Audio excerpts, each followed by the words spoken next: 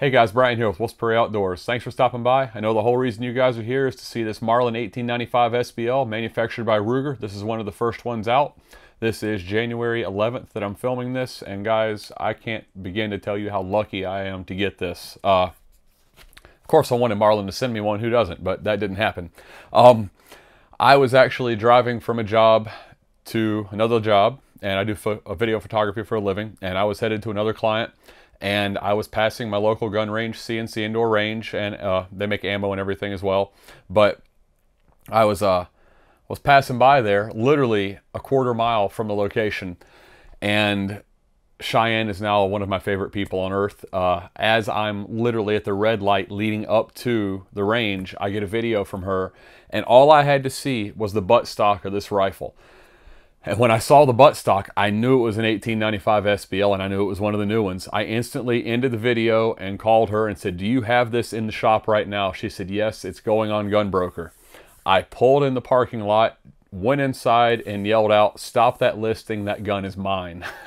I, uh, I had to have this. You guys have been requesting this all over Instagram and Facebook and messages and whatnot and I wanted it for myself too. I want to see how good this thing is. They've claimed some awesome st statistics with it, and I had to get my hands on one. I cannot believe it actually showed up. That you know, just by happenstance, I was driving by when they got it in, and we're actually in the process of listing it on Gunbroker. I got really lucky to catch it. So Cheyenne, thank you so much. I really appreciate it.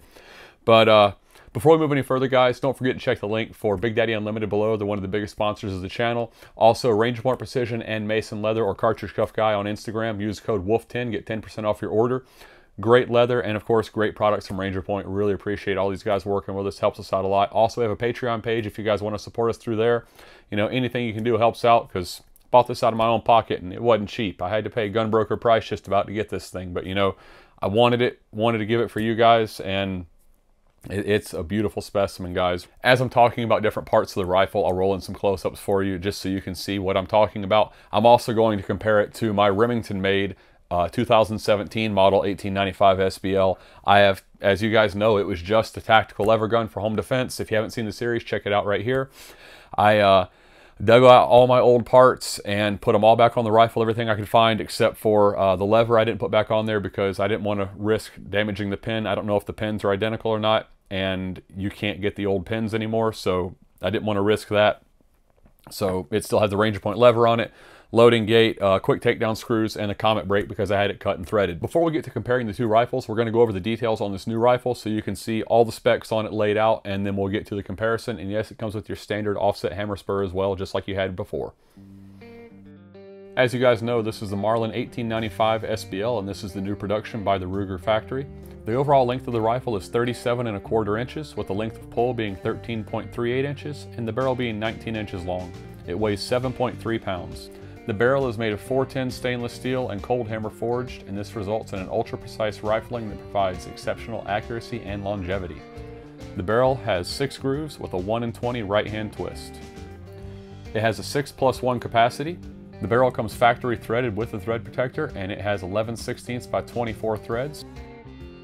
It has an updated Picatinny rail system with an enlarged rear ghost ring sight and a tritium fiber optic up front for high visibility, low light shooting. The rifle comes standard with a durable laminate buttstock and forend.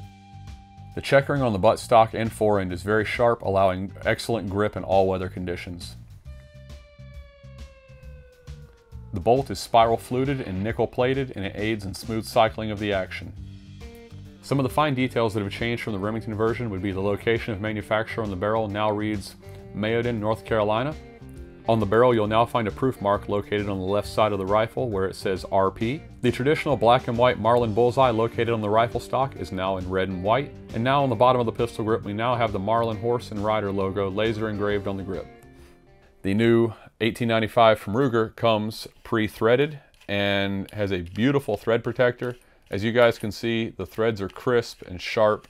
They did a really nice job on this, guys. Really a very good factory option. I mean, now you don't have to spend the money to send your gun off and get it threaded because the threading is not necessarily the expensive part. It's the shipping to and from, transfer fees, the whole nine yards. So having it come pre-threaded from the factory is huge. And plus, In order to thread my 1895 from Remington, I had to cut it to thread it because the mag tube was too close. So I was going to lose a little bit either way. So that's a nice option. That way you still maintain your 6 plus 1 capacity if you want it. And it's just, it's really nice. I think that's just something these days with the suppressor use and muzzle brakes and anything you want to put on it, you know, that's just a nice factory feature. It's awesome for them to include because really it's not that much more on their end and it's value added for every one of us that wants it from the factory anyway. We're going to do it regardless. So huge props to them for doing that. Since we're on top, let's go ahead and move back. As you can tell, the sighting system is different from the Remington, which had the XS sight system. Great sight system, always was great, but as you would expect a company to do that is making their way in this market, they made their own version. This is a proprietary system for Ruger, for Marlin, and they have a tritium fiber optic up front super bright guys in low light that thing just glows. It draws your eye right to it. They did a phenomenal job with that.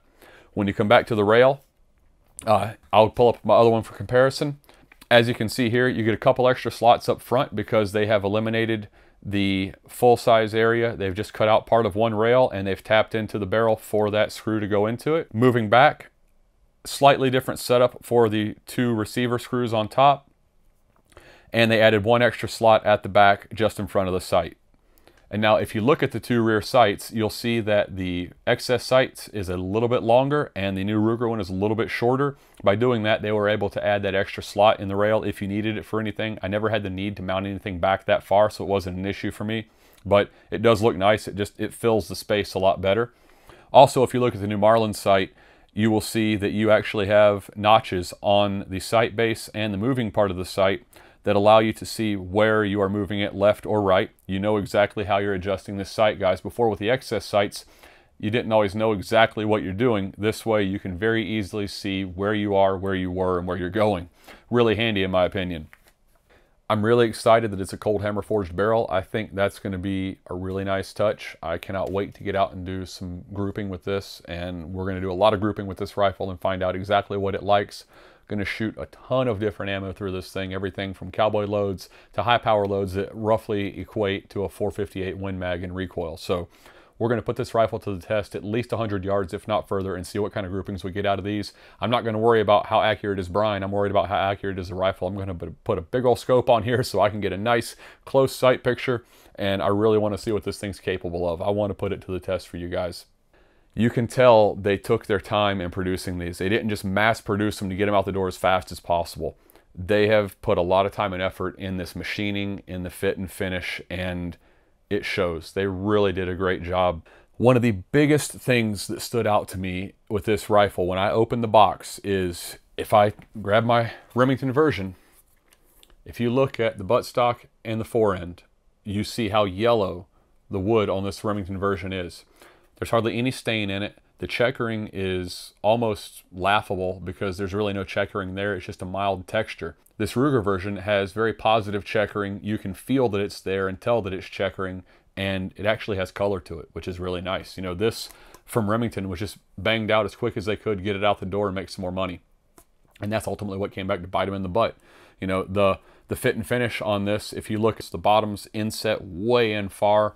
It's just it was not appealing. It was slammed out and everybody could tell it. If you look at the fit and finish on the Ruger version, they did a phenomenal job. I mean, Cadillacs aren't perfect from the factory. This is obviously not a Cadillac, but you know, this is a Cadillac of lever action rifles. They did an amazing job with this fit and finish. I mean, the radiuses look great. I'm very happy, especially coming from this Remington version that has a gap that I can slide a piece of paper in between without even blinking. I mean, it's it's awful how bad that was, and that actually left the factory. Not to mention the lever. The lever that came on this rifle, on the Remington version, like I sanded this down because it was so sharp it would take skin off and it's still borderline where if you shoot it all day you're going to lose some skin on that. It's just that's all there is to it. This is now a paperweight. I put a ranger point loop on there. It's deburred. It's smoothed out really nicely. But one thing i got to give props to ruger for is when you run your finger across the roll on this edge i kid you not it's actually right on par, if not a little better than the Ranger Point in some places. They did an amazing job with that. It just, it's radiused out really nicely. I would have liked to have seen a bigger finger hole in this, but it is what it is. I just like a little more room. And yes, for you guys wondering, you've still got that lovely floppy trigger. It's just the way it's going to be. If you don't want it, you replace it with an aftermarket one like Ranger Point or Wild West, or I think that's all there is out there really, guys. But, you know, that that's just, that's not going to cut it for me. I'm going to replace that. There's no question about it. But everything on it looks amazing. The fit and finish, the time they put into this, you can tell they actually cared about what went out the door. You know, unlike the previous version, it was horrible. And the polish on this is beautiful. They did a great job with the finish on it. I think that Ruger is really bringing them back into a new era. It's a classic rifle and they have brought it back to what JM was or possibly better. You know, it, there's a lot of features on this that weren't on the JM. And for one, we've got, yes, the rifle's clear, both of them are. We've got a spiral fluted nickel plated bolt. And guys, this thing is like butter. I mean, of course, you've got a little bit when you first get over the hammer, but it's just super smooth. It's slick as can be, and that is a huge bonus. I spent hours sanding on my action when I first got it, and it's still gritty because I was just using 600 grit sandpaper. You know, I didn't know a ton when I started doing it, but I got the job done and got rid of a lot of the burrs and a lot of the things that were just catching and made it very just annoying to work the action. This is pleasurable. It's just buttery smooth. They did a great job with that. And that bolt just looks amazing. I mean, if you look at that, that looks like a custom bolt. It doesn't look like your standard straight line black grooved bolt. It looks really nice. Moving forward on the rifle, you know, loading gate was a nightmare on the Remington versions. And of course, as you guys can see, I replaced it with a Ranger Point one.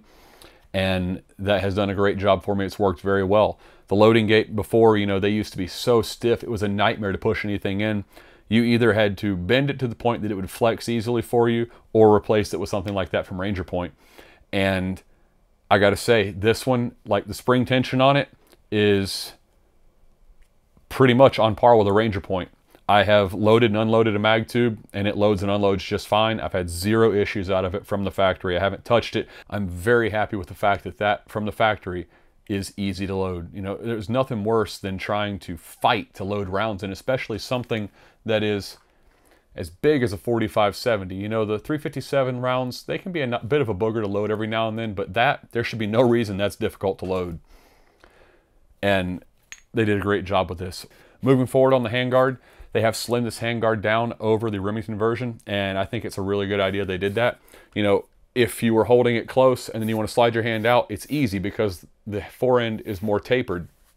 Whereas on the Remington version, it was a big beefy forend and it would hook your fingers or, you know, if you're drawing out of a case, it would sometimes, actually I've had it grab before. So having that tapered is nice. Plus if you have gloves on, you're going to keep getting bigger and bigger and bigger with this giant handguard. So that is a nice touch.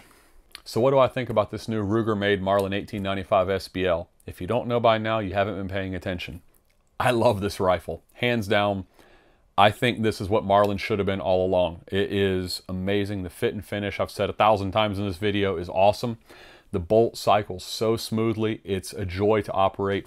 The sights are amazing, so easy to see in low light conditions. I turned the light off in here last night and I was able to see that glowing through the, uh, through the rear aperture. So they did a really good job with that. Becoming pre-threaded is awesome. I don't have to send it off to get threaded, which is always a nightmare. Is my gun going to get lost? Is it going to get broken? You always wonder all these things. Plus, you got to pay for all that shipping and transfer fees. It's a nightmare to have to deal with that. So them pre-threading this is huge. I hope most, if not all, of the lever guns that are coming from them in the future are pre-threaded. It just makes sense this day and age that they come pre-threaded. They know everybody in the lever gun world wants to suppress them now, or at least put a big brake on them. So pre-thread the rifles, guys. That's a huge benefit. If there's something you guys want to know that I haven't covered in the video or something you want to see in future videos, let me know. Drop it in the comments below. If you got a question, just something I, I hinted on that I didn't go in enough detail for you, let me know down below and I'll get to it. It might take me a little while. I've had a ton of comments and questions about this gun in emails and social media everywhere, so I will get to it. Just might take me a little bit. But yeah, guys, this is an awesome rifle. If you've got a chance to get one, definitely add it to your collection. You will not be disappointed. I cannot wait to get out and do some shooting. Like I said, I've got to go to SHOT Show. I'll be there all week, and then the following week, I've got to come back and edit the entire week for my client that I'm going for. So I will be tied up for the next two weeks. After that, I will get out and do some shooting, and we are going to see just how accurate this rifle is. You guys know I've hinted and done a little bit. I love precision shooting, so I'm going to see just how accurate this is, and if I've got enough ammo, we might be taking this thing out quite a ways and see what we can do with it and see just how far this thing will stretch. That's about it, guys. I hope you enjoyed this video. If you did, give us a big thumbs up. Share us with your friends. It helps with the algorithm. It helps get us in front of more people. We are almost at 20,000 subscribers. We're less than a 1,000 away, so definitely share us with your friends and help us break that 20,000 mark. And we're about to break 10,000 on Instagram, so go over there and give us some love. Help us share everything over there and help us grow over there as well. We want to hit that 10,000. And guys, we just really appreciate all your support. I, I still cannot believe that this channel has grown into what it is off of me wanting to start the channel because I, you know, I started the channel hunting with my 4570 because I kept hearing guys say you're going to blow a deer in half if you shoot it with a 4570. And I got tired of hearing that. So I started the channel to say, no, it's shot placement and cartridge selection. And here we are today 94 videos later, 95 videos later, and nearly 20,000 subscribers. And I never expected this, guys. I cannot thank you enough. Your support is awesome. I really appreciate it. I just, I never expected to be in this position, and it's a joy to be able to bring these videos to you. I'm sorry I have lapses in posting. We have a lot going on in our lives. We're still trying to get our homestead built, and everything combined with the fact I've got a two-year-old too who likes to stay up until 11:30 or 12 o'clock every single night makes it difficult to get things done, but I'm working as fast as I can to get content for you guys. And like I said, we got a lot of cool stuff coming. I've got, uh, in the line of lever guns, I've got a Bighorn Armory Model 89 coming back, and we're going to have a lot of fun with that thing. I've got some great ammo lined up, some fun testing. We're going to have a lot of fun, and we're going to revisit our home defense lever gun series and do some really cool shooting with that. We got some great penetration stuff coming up. A lot of good things in the works, guys, so definitely stick around. Like I said, give us a big thumbs up, share, with you, share us with your friends, and check back often. Have a good one.